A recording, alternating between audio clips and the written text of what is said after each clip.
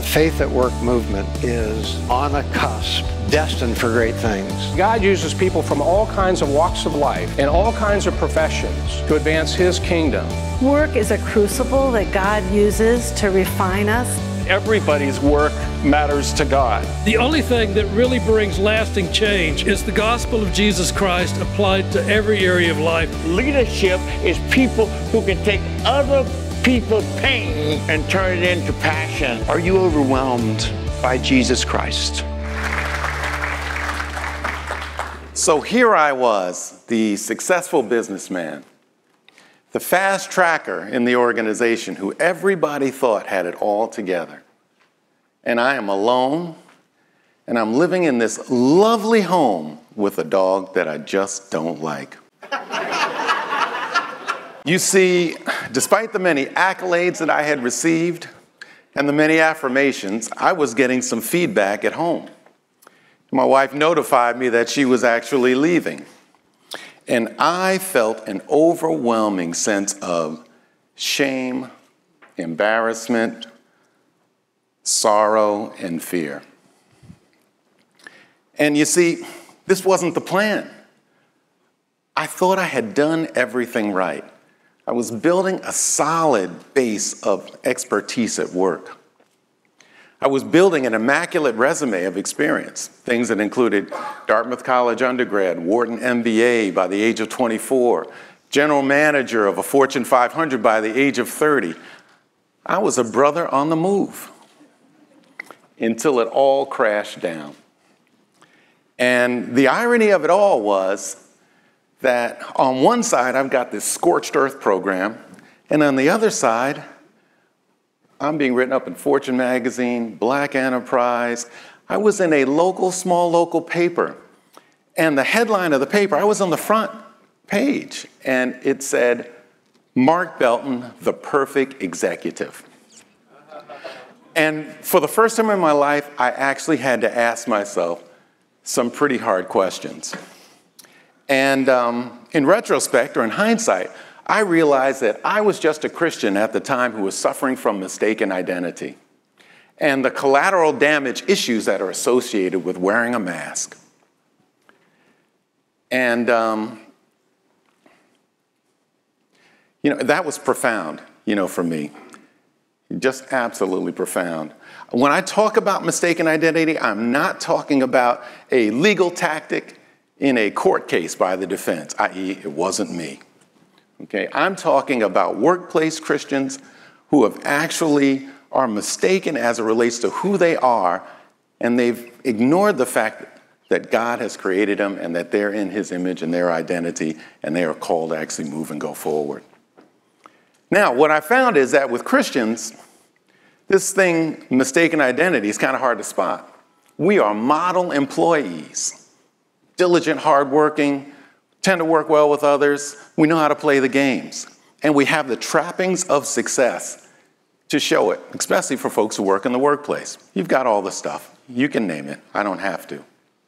But make no mistake about it. Folks who suffer from workplace, um, from mistaken identity, actually really struggle and they lose the freedom and the flexibility um, to do the great things that God wants them to do. They become powerless. So, the essence of my talk actually today is to actually encourage you to think about putting down the mask and actually picking up the unmistakable face of a Christian. So, why don't I take a second? Let's kind of uh, illustrate the different masks that we have. First mask I want to talk to you about is the Oz Christian, and I call that OZ like the Wizard of Oz. If you remember in the story of the wizard, Dorothy and her friends, after much tribulation, arrive at the Emerald City.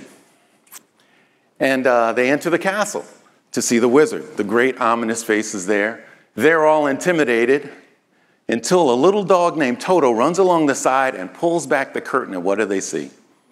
They see a little old man in there, whirling his arms and twirling. So, the Oz Christian is a person who spends a lot of time puffing themselves up. They are ever insecure and ever fatigued because this takes a tremendous amount of work. And one interesting thing about the Oz Christian, you know, when you're working on puffing things up, you also spend a fair amount of time putting people down. Okay, whether that's passive aggressive behavior or nitpicking or just the put down, which we see a lot right now.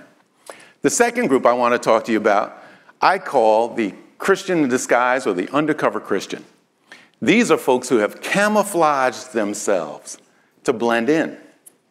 They are like characters inside a Robert Ludlum novel. They're always on the run, they're always hiding. Fear is their currency and their primary motivation. And as we look at scripture, in Proverbs it says, Fear of man is a snare, but he who trusts in the Lord is kept safe. So these folks are actually ensnared by their fear of man. And you know what a snare is like. The more you move and tussle, the more ensnared you get. So as a result, these Christians become really ineffective at doing anything for the kingdom. The third group I'd like to talk to you about, I call the high tower Christians. And if you look in the book of Genesis, chapter 11, it's the great story of the Tower of Babel. You all know it. What do they say? Let us build a city and let us make a tower that reaches to the heavens so that we might make a name for ourselves. And the operative there is making a name for ourselves. How do you do that? Accomplishment, status, or things that actually refer back to accomplishment or status, the things that you've actually achieved. The high tower Christian has a currency, you know, which is about advancement. But what you do find is that these folks are like Dow Jonesers. They are up and down with the market each and every day. Did the boss say something nice? Did the pitch go well? It didn't go well. Oh my gosh, they're always grinding. They're ever grinding and ever striving. And it makes them ineffective because they're always reaching for other types of things. So, what I would just try to say is, you know, what masks are you wearing? And do you see any collateral damage associated with it? And what's fueling you? The next thing I want to do is talk about the other side of the story, which is the unmistakable face of a Christian. First and foremost, they are unclouded in their identity. They know they're made in the image of God. They know they're royal because they're sons and daughters of the king. And they also understand that they're ambassadors sent on a mission to do the king's business. Next, these folks are unshakable. Their roots run deep in the Lord. They understand that problems will come and trials and tribulations certainly are part of our lives, but they know that the Lord is the one who defends them from each and every one of those. Third, these people are unselfish. They know God has a plan for them, so they don't have to grab at everything. In addition, they're generous. They know their God gives with an open hand. So as a result, they can give of their time, their talent, and their treasure. So my first question for you is, is hey, who wants to be on the mask side no hands. Who wants to be on the other side with the unmistakable face of a Christian? We all do. We want to be there as consistent as possible. Now, there's a huge problem with this. On one side, you've got the face, the other side, the unmistakable, and there's a canyon that's in between these. And if you're even remotely honest with yourself, you have to admit you've tried to scale the canyon, you've tried to jump it, and you know that you can't. It's just too wide. Can't be done. Well, there's good news. The only way you can get from one side of that canyon to the other is with the Lord Jesus. Okay? He's the bridge who can bring you over. There are some other problems, though. Many of us will have to surrender some things to get to that other place. He can't just be your Savior, He must be your Lord and King. And if you're unwilling to turn it over, that means you're not ready to give up the mask. Okay? So let me give you some helpful ideas as you kind of walk this out. First and foremost, hook into the book. Scripture says, don't be conformed to this world, but be transformed by the renewing of your mind. Those are wonderful flowery words. We know what they mean. Reprogramming. You have to have your mind reprogrammed and try to do it on a daily basis. And I have been in a situation where I've been reading God's word now for a few decades every morning with a book cover to cover. And if you would have seen me back in the day, you'd see me with a Bible, my journal, and a commentary. And I'm furiously going through this, writing things down, praying about them, and trying to walk to work with a new mind because I knew things were messed up in my life. So I had to get serious about the book. Now, one of the things we notice today is that we are over Bibled and underread as a society. They say there are four Bibles in every home, and less than 25% of the people actually read the book, which drives me crazy. I can't understand it. We live in the most volatile, uncertain, complex, and ambiguous world of all time. And here you are not anchoring yourself in the Word so that you might discern what is right and what is good and what is necessary. Second thing you ought to think about get into a group. I have learned over time that it is probably more important to live your life in a circle than it is to just spend your time sitting in rows. There is something powerful and profound that happens when people get together and sit face to face with one another, sharing their issues, sharing their challenges, getting support, and receiving wisdom from one another. I'm in a group of cats, and we call ourselves the Bereans, and we are 12 guys, and we're like the United Nations of brothers. We have some very simple things that we actually try to do as a group. We read books by godly authors, so thank you all here for these wonderful books. We'll scan some and find some for our group to read. We spend time breaking bread. We pray. We obviously ask questions about those books with one another and challenge one another, and then we support one another through great fellowship. We have one simple rule whatever happens in the diner stays in the diner, so there's trust, and then we move forward.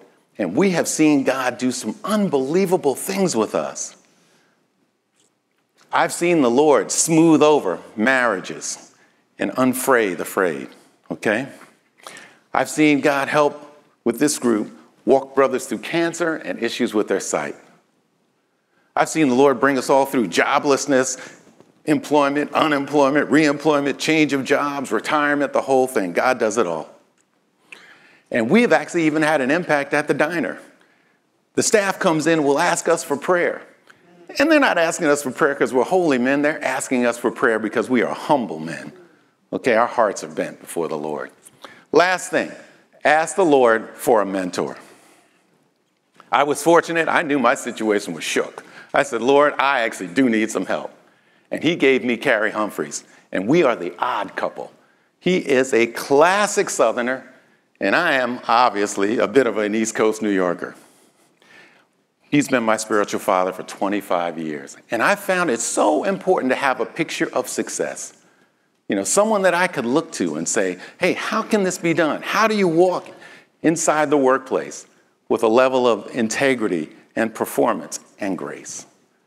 You know, how do you juggle your family and make things right and put them where they need to be placed, right up in front? And how do you serve the king in a way that makes him smile? So, one of the interesting things I'll just say is ask God for a mentor and don't be surprised if you see the Lord tapping you on the shoulder and asking you to mentor someone else. Okay, we truly need it right now. It's absolutely essential.